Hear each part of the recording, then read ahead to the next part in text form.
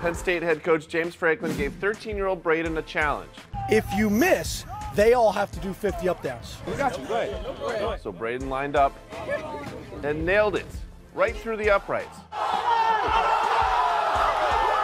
And with that, it's obvious the Little League star became a legend, while the Nittany Lions head coach paid with his push-ups and then complained of sore arms.